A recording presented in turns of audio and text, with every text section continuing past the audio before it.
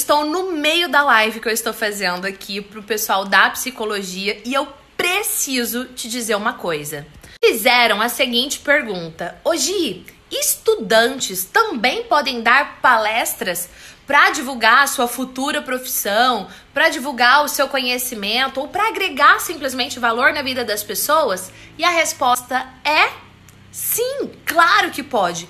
Inclusive, uma pessoa que fala diante de um público, ela tem muito mais chance de ser reconhecida como profissional do que aquela pessoa que se esconde, que tem medo de se expor ou que não sabe simplesmente nem por onde começar. Então, não importa qual é a sua área de conhecimento, se você é psicólogo, se você é enfermeiro, se você é advogado, não importa. Falar em público é sim um diferencial e sim, você pode fazer palestras, mesmo que começando de forma voluntária, para se divulgar, divulgar o seu negócio e até mesmo agregar valor na vida das pessoas. Eu diria que eu começaria por agregar valor na vida das pessoas.